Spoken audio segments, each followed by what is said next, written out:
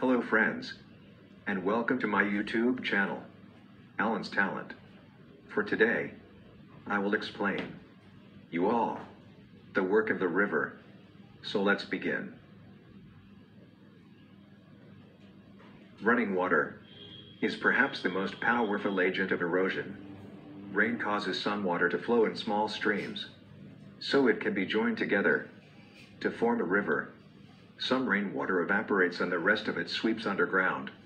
Source is a term used for a place from where the river originates.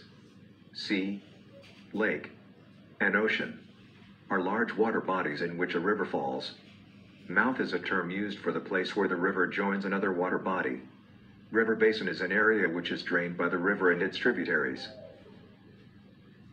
In hilly regions, or in the mountains, due to steep slope of land, the river carries a small volume of water. Due to narrow stream it flows swiftly with enormous erosive power, forming number of landforms. The most common landform is a V-shaped valley. Another type of landform formed is a gorge. A gorge is a very deep and narrow valley. It is formed when a river erodes vertically through hard rocks. This valley is shaped like the letter I, therefore it is also called I-shaped valley.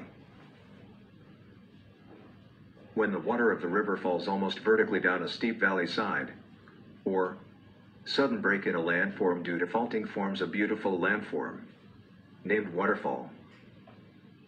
Rapid is a term given to the steep sloping segment of the swift flowing river. Due to continuous erosion, meanders are formed.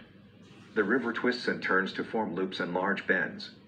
When the meandering loops become almost circular, the strip of land is cut by the river in two loops taking a straight course.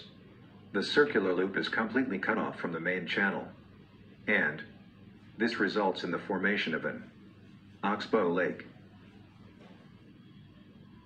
Now let's talk about delta. What is a delta?